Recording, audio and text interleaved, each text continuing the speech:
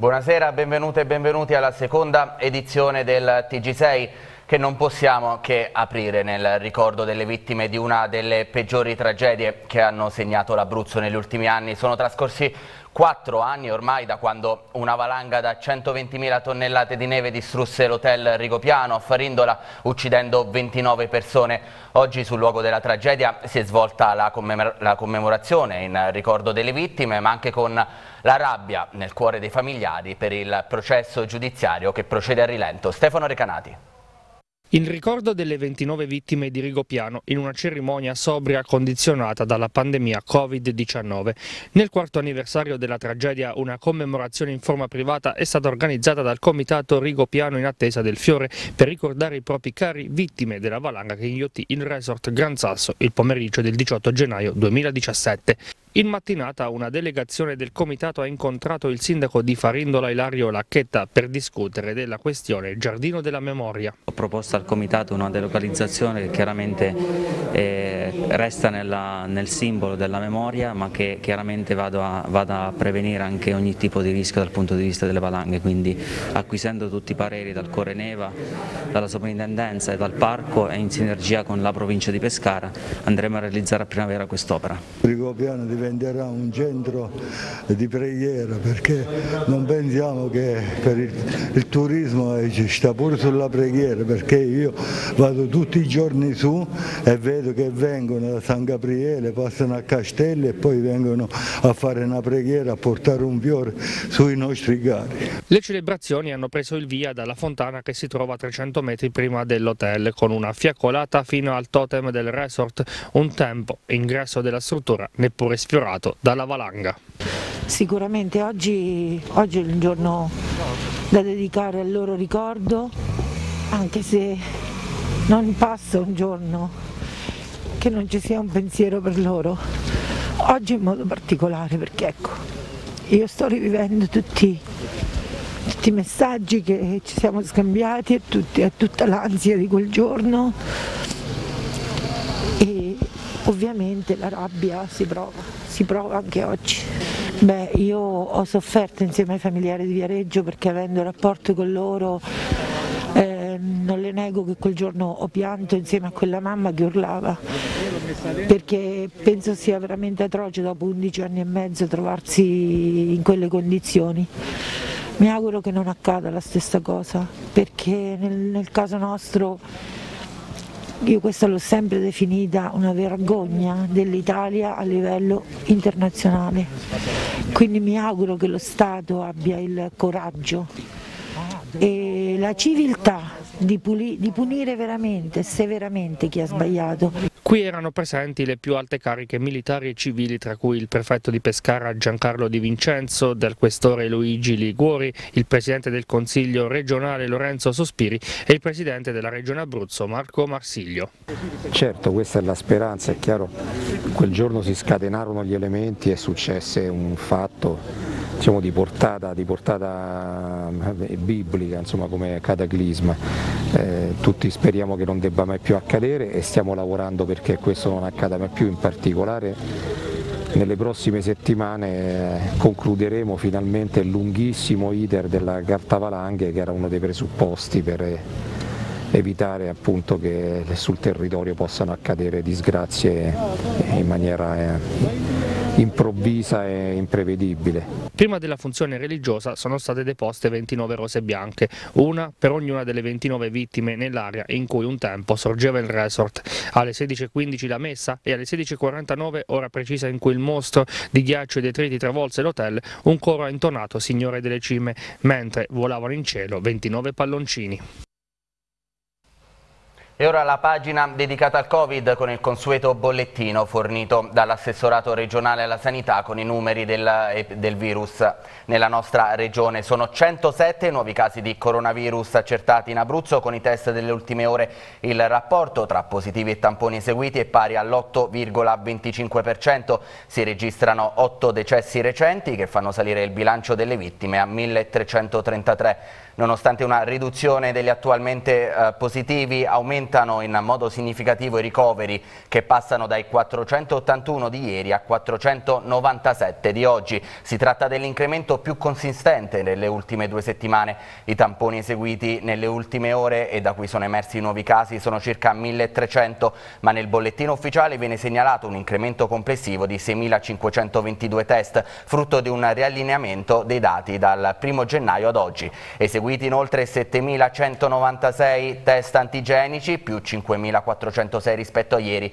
Il dato dei tamponi molecolari e dei test antigenici, fa sapere l'assessorato regionale alla sanità, viene esposto separatamente e non in forma aggregata. Dei nuovi positivi il più giovane ha due anni e il più anziano 95. Gli otto decessi, due dei quali avvenuti nelle scorse settimane comunicati solo oggi dalle ASL, riguardano persone di età compresa tra 40 e 97 anni, tre in provincia di Chieti, quattro in provincia di Teramo e uno in provincia di Pescara. Gli attualmente positivi sono 170 in meno e scendono a quota 11.382, 454 pazienti più 11 rispetto a ieri sono ricoverati in ospedale in terapia non intensiva e 43 più 5 rispetto a ieri in terapia intensiva con 7 nuovi ricoveri, mentre gli altri 10.885 meno 186 sono in isolamento domiciliare con sorveglianza attiva da parte delle ASL. I guariti sono 269 in più per un totale di 26.707 persone dall'inizio dell'emergenza sanitaria.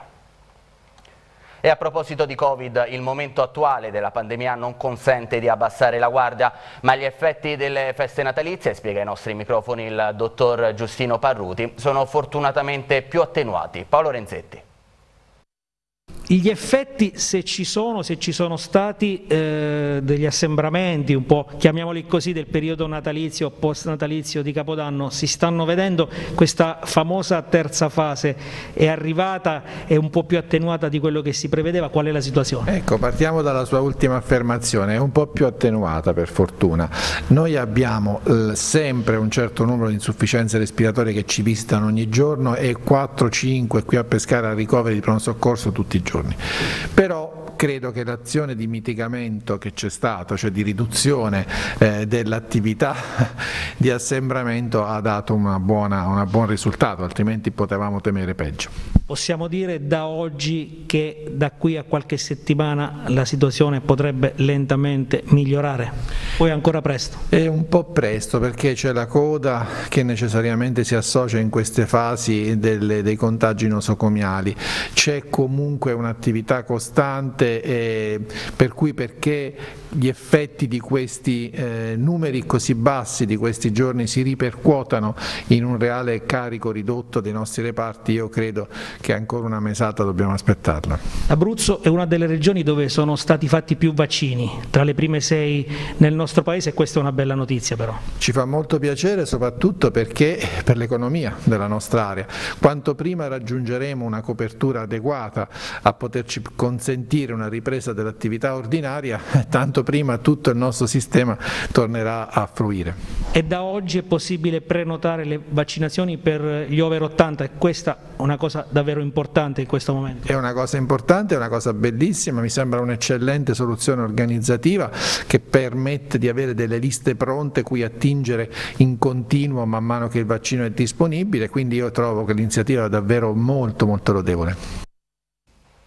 E l'Abruzzo sarà una delle sei regioni italiane a non risentire dettagli nella distribuzione del vaccino Pfizer-BioNTech dopo che l'azienda ha deciso uno stop alle forniture. Nella Marsica prosegue la somministrazione delle dosi. Ascoltiamo allora la testimonianza di due medici appena sottoposti al vaccino nel servizio a cura della redazione di Infomedia. Di fianco a me due medici di medicina generale, il dottor Barbati Domenico e il dottor Francesco Ulanio, entrambi si sono sottoposti proprio questa mattina assieme ad un altro gruppo di eh, operatori, di personale sanitario alla seconda dose di vaccino anti-Covid. Parliamo del vaccino Pfizer, loro fanno parte dei primissimi vaccinati in Abruzzo. Dottore, questa mattina quindi si torna a ben sperare con questa seconda dose? Beh, speriamo di sì, noi ci auguriamo che possano essere vaccinati più persone persone possibili, soprattutto anche le persone anziane gli insegnanti, che è una, una, categoria che non deve essere trascurata perché se le scuole le vogliamo aperte devono essere vaccinati anche tutti quanti gli insegnanti, non secondo soltanto noi ma tutta quanta il mondo scientifico internazionale, penso che sia l'unica arma che a noi abbiamo oggi seria. È stato autorizzato anche il vaccino Moderna, che cosa significa avere tra le mani la bandiera dei primi vaccinati in Abruzzo e quindi di portare avanti questa testimonianza anche con tutti gli step successivi? Successivi.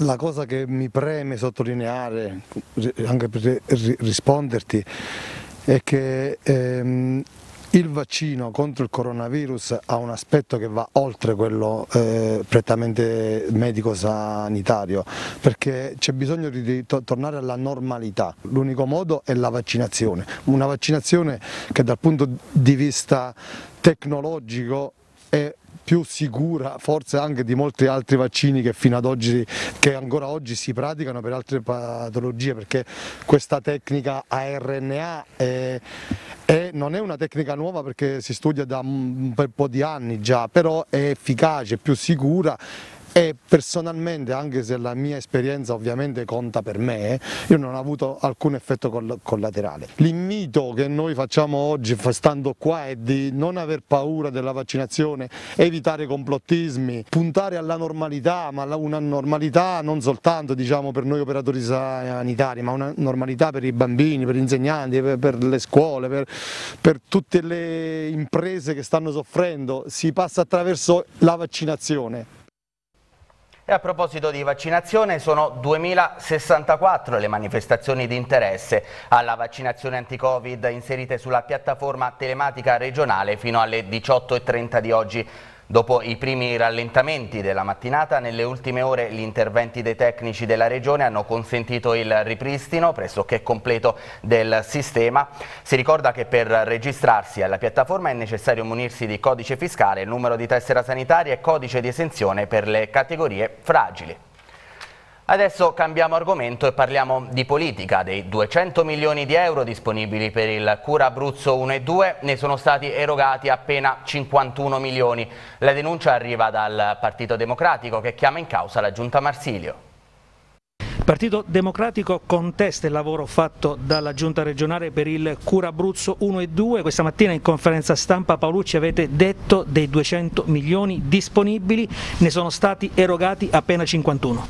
Esattamente, il 25% a cui andrebbero sottratti i cosiddetti fondi rotativi, ovvero i fondi a prestito. Effettivamente alle imprese e alle famiglie sono arrivati appena 20 milioni di euro circa. Per quanto riguarda le imprese 6 milioni di due bandi che ammontavano a 70 milioni, quindi meno del 10%, una denuncia forte perché noi periodicamente facciamo una sorta di tagliando al Cura Abruzzo 1 e 2 e purtroppo le denunce che già lanciavamo un anno fa all'atto dell'approvazione si sono verificate oltre addirittura le nostre aspettative corrette, cioè le procedure di norma, provvedimenti amministrativi e, e burocratiche che avevano scelto purtroppo rallentavano il percorso di erogazione. La verità è che le risorse per le famiglie e soprattutto per le imprese sono rimaste al palo dopo un anno di denunce e promesse. Hanno utilizzato queste norme esclusivamente per fare politica nazionale. Il Presidente Marsiglio si è messo a disposizione del suo partito per aprire sempre una dialettica, un confronto critico col governo, ma per quanto riguarda la Presidenza, il ruolo di Presidente dell'Abruzzo e degli abruzzesi, la sua giunta è rimasta davvero ferma.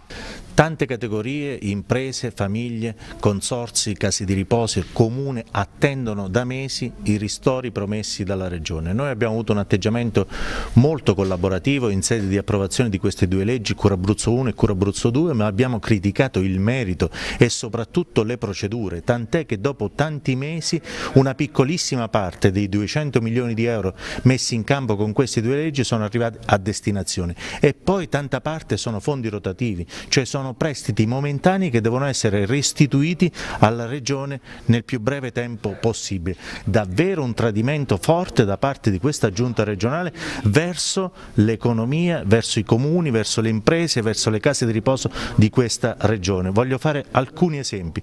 I balneatori stanno attendendo ancora il milione di euro promesso e normato per quanto riguarda le mareggiate, i danni delle mareggiate del novembre 2019. I ristoratori hanno chiesto tanto, c'è stato un tavolo importante proprio qui in regione, nulla delle loro richieste è stato eh, raccolto e accolto da parte di questa giunta regionale, si sono fermati solo ad un grande comizio contro il governo nazionale, così come le case di riposo, stanno attendendo sia i 3 milioni a fondo perduto e sia i 4 milioni di fondi rotativi. E lì ci sono operatori che stanno soffrendo e non ricevono stipendi da mesi. E parliamo di un settore molto molto sensibile dovuto ovviamente alla pandemia. Consegnati questa mattina a Teramo i lavori per la realizzazione del nuovo ponte di Castelnuovo. L'infrastruttura costerà 6 milioni di euro e sarà strategica per i comuni produttivi della zona. Soddisfazione dell'amministrazione provinciale per aver sbloccato un'opera che dovrebbe rappresentare la rinascita del territorio teramano. Ascoltiamo Tania Bonici Castelli. La provincia di Teramo ha consegnato ufficialmente i lavori del nuovo ponte di Castelnuovo. Ad aggiudicarsi l'appalto è stato il consorzio stabile Rinnova, costituito da 10 imprese teramane. L'opera prevede un investimento di circa 6 milioni di euro, i fondi sono quelli della Regione Abruzzo, circa una metà provenienti dal masterplan. L'infrastruttura sul fiume Vomano collegherà la rete stradale nelle zone produttive di Cellino Attanasio e Castelnuovo Vomano. Oggi eh, finalmente possiamo fare la consegna, i lavori cominceranno da subito, tempi eh, dei lavori sei mesi, quindi eh, confidiamo che eh, in questo breve tempo possibile possiamo consegnare alla nostra provincia di Teramo un'opera strategica sia per il collegamento delle vallati del Tordino con il Fino ma soprattutto per l'intera provincia e io penso che questa possa essere anche un'opera un po' il simbolo della rinascita della provincia di Teramo che va nella direzione appunto della rinascita e come ho detto l'altro giorno di riconnettere il territorio. Affidiamo a quest'opera una grande importanza strategica appunto come ho detto per il rilancio definitivo della provincia di Teramo. Come voi sapete in pratica dal nostro eh, arrivo in provincia abbiamo trovato tutte opere bloccate, quindi non era la prima opera bloccata, come sapete c'era anche un'altra opera importante che è il ciclo pedonale di Roseto eh, che eh, confidiamo anche a breve di eh, far ripartire, quindi eh, anche su quest'opera eh, affidiamo anche una ripartenza immediata affinché si possa completare la pista ciclabile di tutta la costa teramana. Il nuovo ponte di Castelnuovo avrà un'unica carreggiata formata da due corsie per un'ampiezza complessiva della piattaforma stradale di 10,50 metri. L'Aquila non ce l'ha fatta a diventare capitale della cultura 2022. L'ambito riconoscimento è stato vinto dall'isola di Procida in Campania, arrivato tra le dieci finaliste nella corsa del, al riconoscimento del MIBAC, del Ministero per i beni, le attività culturali e il turismo. Il capoluogo d'Abruzzo ha lavorato sodo con la produzione di un elaborato dossier scritto e video coordinato da Pierluigi Sacco. Dovremmo premiare tutte e dieci le finaliste, ha detto il ministro Dario Franceschini durante la proclamazione online della città vincitrice. Nell'anno della rinascita sarà Procida a rappresentare la spinta culturale italiana e il laboratorio con lo slogan L'isola che non isola. E siamo così giunti alla pagina sportiva del nostro telegiornale che inauguriamo con il calcio di Serie B. Sconfitta pesante per il Pescara che nello scontro diretto contro la Cremonese regge nel primo tempo ma poi crolla nella ripresa sotto i colpi di Ciofani e l'autorete di Jarosniski. Per il Delfino un deciso passo indietro dopo la vittoria ad inizio anno contro la Reggiana. Un Pescara appena sufficiente nel primo tempo ma imbarazzante nella ripresa perde per 2-0 al cospetto della Cremonese lo scontro diretto dell'Adriatico dopo 90 minuti che hanno fatto emergere i nuovi limiti difensivi ma anche offensivi della squadra abruzzese. Breda con tre quarti di difesa out arretra sulla linea dei centrali Valdifiori a centrocampo Omeonga gioca al posto di Bellanova con Masciangelo quinto di sinistra. Il neo biancazzurro Macin va in panchina tanti gli assenti anche fra gli ospiti che si schierano con il 4 3-3 all'Adriatico dirige la penna di Roma. Al quarto minuto sugli sviluppi di una rimessa laterale palla in area Lombarda Galano che calcia sporco mandando il pallone di un soffio sopra la traversa. Fasi iniziali di gara equilibrata con più possesso palla ospite ma poche occasioni. Al 31esimo missile di Valzania e palla che sfiora l'incrocio dei pali della porta di Vincenzo Fiorillo. Resta così lo 0-0 di inizio partita. Al 39esimo a proteste del Pescara dopo un contatto in area grigio-rossa fra Seter e Castagnesi Zanetti con il giocatore ospite che tocca anche la gamba del colombiano ma con il direttore di gara che lascia ancora una volta proseguire lasciando qualche dubbio sulla sua decisione. Finisce così senza reti il primo tempo dopo una gara molto equilibrata e con poche occasioni. Nella ripresa Cremonese in campo con Daniel Ciofani per Strizzolo sarà la sostituzione che cambierà il match. Al terzo pericolo in area abruzzese con Fiorillo che non trattiene il pallone calciato da Seller prima della respinta su Valeri ed il salvataggio di Valdifiori dopo il fischio del direttore di gara La Penna che segnala un fuorigioco. All'ottavo ancora ospiti pericolosi con un tiro a fil di palo di Valeri. Sicuramente molto meglio la squadra di Pecchia che ricorre anche a Gaetano in questo avvio di secondo tempo con Breda che al tredicesimo manda in campo Vokic per uno Pago Galano. Continua a far meglio però la formazione grigio-rossa che al sedicesimo con Ciofani trova il vantaggio con il gol dell'ex biancazzurro Lesto a mettere alle spalle di Fiorillo su assist di Valeri. Male il Delfino con gli ospiti più vivi e con il tecnico pescarese che effettua un doppio cambio con Creco e Fernandez per Masciangelo e Maestro, ma al ventesimo arriva il raddoppio ospite con un'autorete di Erosischi che segna nella porta sbagliata.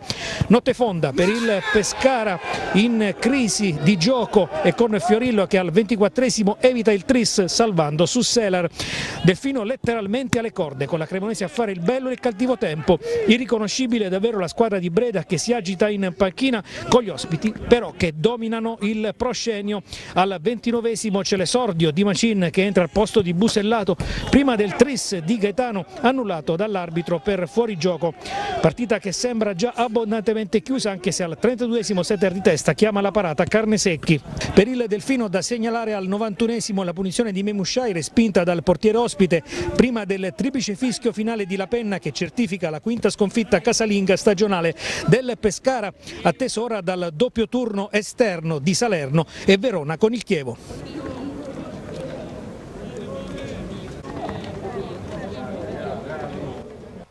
Serie C continua la striscia senza vittorie del Teramo che cade al Rocchi di Viterbo per effetto della rete di Markic in chiusura di primo tempo. Solita prestazione scialba della squadra di Paci che perde il terzo posto in classifica e scivola alle spalle di Avellino e Catania. Ania Cantagalli. Il Teramo gira a quota 28 punti in classifica, chiudendo il girone di andata con la sconfitta in casa della Viterbese per 1-0 ed allungando la striscia dei risultati senza vittorie a ben 8 consecutivi. A decidere al Rocchi un gol di Marchic a fine primo tempo. Paci ritrova Piacentini che torna subito titolare in difesa dopo il reintegro in lista. Per il resto è la formazione vista contro l'Avellino. Nella Viterbese fa invece il suo esordio dal primo minuto l'ex Livorno Murillo. Pronti via ed è un diavolo che mette subito pressione agli avversari come non si vedeva da un po'. Diachite gira di testa un angolo, ma soprattutto qualche minuto dopo Santoro si guadagna un calcio di punizione che Bombaci manda sul palo. Lo stesso Santoro è però più veloce degli altri a fiondarsi sul pallone, trovando Daga a negargli la rete. La Viterbese fa fatica a costruire ed il Teramo si fa ancora pericoloso.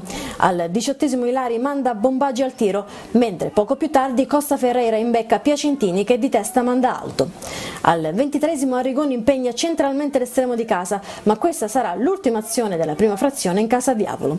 Da quel momento in poi infatti la Viterbese sarà pericolosa da palla inattiva. Al 34esimo Murillo non inquadra la porta da due passi sfiorando il palo. Al 39esimo Benzaia trova ancora la testa dell'attaccante brasiliano con Lewandowski che però para senza problemi. Dall'ennesimo calcio di punizione scaturisce il gol dei padroni di casa. Benzaia mette in mezzo, si crea una gran confusione in area da cui emerge Marchic e la sua deviazione vincente tra le proteste dei giocatori del Teramo. Il diavolo non inizia bene la ripresa, è Baschirotto ad impegnare inizialmente Lewandowski, con Tuncarà che lo segue a ruota poco dopo. La reazione biancorossa è ancora in un calcio di punizione disegnato da Bombagi che finisce di poco alto sulla traversa. Due minuti più tardi è Costa Ferreira a pescare l'ex Pordenone che di testa però trova Daga. Al 33 ancora una volta Lewandowski a mettere una pezza su Tunquara lanciato a rete che si fa ipnotizzare dall'estremo del diavolo. Al 40 poi l'ultimo sussulto.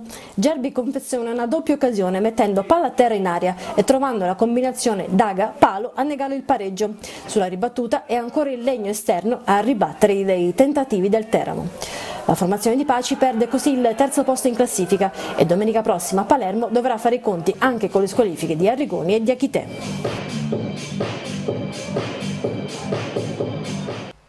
In Serie D battuta d'arresto per il Notaresco che a Genzano perde il match con la Cinzia Albalonga per 1-0. Il gol decisivo dei laziali è stato realizzato da De Vico con i rossoblù eh, di Epifani che hanno giocato la ripresa quasi per intero in, in inferiorità numerica per il rosso a Marchionni. Nel freddo pungente del Bruno Abbatini di Genzano la spunta di misura la Cinzia Albalonga sul notaresco al quale non riesce l'aggancio in vetta alla classifica sulla capolista Castelnuovo. I padroni di casa devono fare a meno di Pace squalificato e Angelilli, gli abruzzesi in formazione tipo si schierano con Banegas e Marchionni alle spalle di Dos Santos. Il primo squillo di marca locale con Panaioli ma il suo destro non inquadra lo specchio della porta. Al diciottesimo dubbio il fuorigioco fischiato a Dos Santos lanciato da un ispiratissimo Marchionni. L'ex Monte Giorgio 30 secondi dopo lancia Frulla, bravo a inserirsi con i tempi giusti, meno a tu per tu con Santilli, bravo a respingere. I bianchi di casa non ci stanno e si distendono in fase offensiva con Gianoco in mezzo, pesca Panaioli ma la mira del 7, come in precedenza, non è precisa. I rossoblù provano a pungere anche in contropiede quando Marchioni lancia Dos Santos ma la conclusione non sortisce gli effetti sperati. Al 27 Tegola per Epifani che perde Colombatti per infortunio, al suo posto Matteo Gallo. Alla mezz'ora stessa sorte morte per Barbarossa che accusa un problema muscolare al suo posto. Mister Venturi inserisce Di Vico. Nella ripresa subito in avanti gli abruzzesi con Dos Santos che crede in una palla vagante ma valanga in uscita Santilli rimedia come può. Il notaresco fiuta il colpaccio ma le cose si mettono in salita al dodicesimo quando il direttore di gara espelle per doppia ammonizione i Marchionni reo nella circostanza di aver simulato un fallo all'interno dell'area di rigore tra le proteste della panchina rosso-blu. La Cinzia approfitta dell'uomo in più e passa a condurre al 23 con Di Vico che dal centro dell'area di rigore di testa insacca il cross di Mazzei. Epifani prova a scuotere i suoi mandando in campo Simoncini per Blando e Palumbo per Ghiani e proprio sui piedi dell'ex Pineto capitano gli otto occasioni al 33esimo ma la sua conclusione è a metà tra un tiro e un passaggio. Sul capovolgimento di fronte Oggiano, oggi un po' in ombra, ha l'occasione per chiudere la gara ma il colpo di testa fa la barba al palo. Sul finale di gara Seriello di Chiari ristabilisce la parità numerica mandando anzitempo sotto la doccia Mazzei per doppia ammonizione nel recupero tanta confusione in campo che non agevola le speranze di rimonta del Notaresco.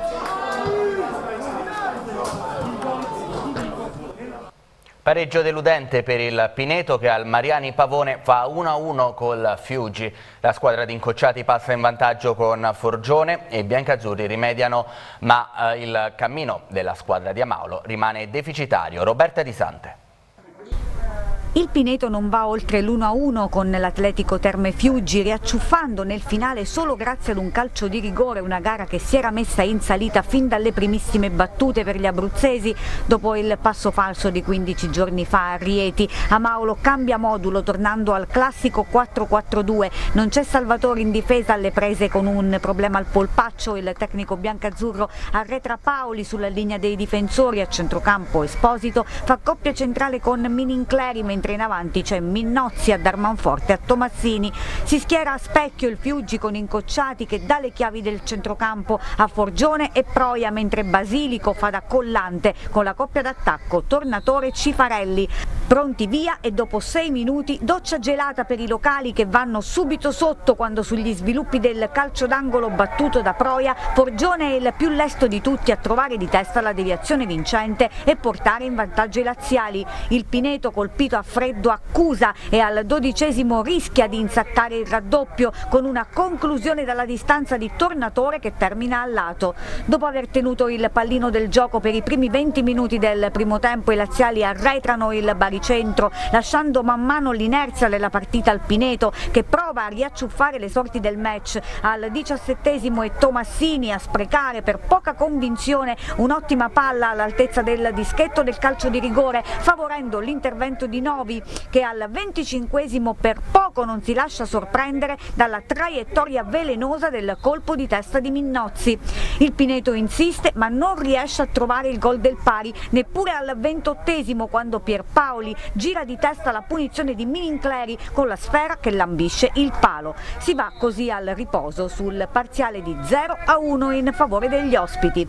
Nella ripresa il Pineto è costretto a fare la partita mentre il Fiuggi approfitta degli spazi lasciati dai biancazzurri per pungere come al minuto 2 quando la difesa locale si fa infilare da Tornatore Cifarelli con quest'ultimo che a tu per tu con Mercorelli saggia i riflessi dell'estremo locale. La reazione biancazzurra 4 minuti più tardi, punizione di Minincleri, Esposito gira in mezzo di prima intenzione per Tomassini ma la sfera si impenna oltre la traversa.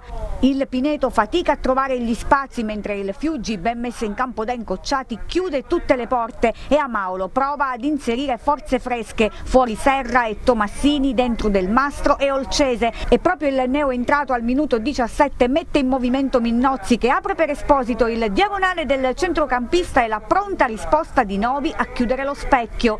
Sale di intensità il Pineto che ora meriterebbe di trovare il gol del pari e che alla mezz'ora grida alla rete quando Olcese di testa impegna Novi che trattiene la palla sulla linea a detta del direttore di gara Graziella Pirriatore che tra le proteste biancazzurre interrompe il gioco e fischia la carica sul portiere laziale, ma i locali continuano a premere sull'acceleratore e trovano l'episodio chiave nel finale quando Della Quercia se ne va in percussione sulla destra, entra in area e viene messo giù da Proia. L'arbitro indica il dischetto e Minincleri a fil di palo Beffanovi portando i suoi sull'1 a 1. Un pareggio che non fa felice nessuno ma che evita una sconfitta che avrebbe rappresentato una punizione troppo cocente per i biancazzurri, autori di una buona reazione ma ancora troppo poco concreti. Un piccolo passo in avanti in attesa di conoscere se la prossima trasferta contro il Monte Giorgio, fortemente a rischio, si potrà disputare o se ci sarà un altro pit stop. Questa era l'ultima notizia, tutti quanti i servizi che avete visto sono sul canale YouTube della nostra emittente sul sito tv6.it. Prima di salutarvi vi ricordo che questa sera alle ore 21 andrà in onda Replay, la trasmissione sportiva di Enrico Rocchi dedicata al mondo bianco-azzurro. L'informazione invece tornerà alle 23 con l'edizione della notte. Grazie, una buona serata.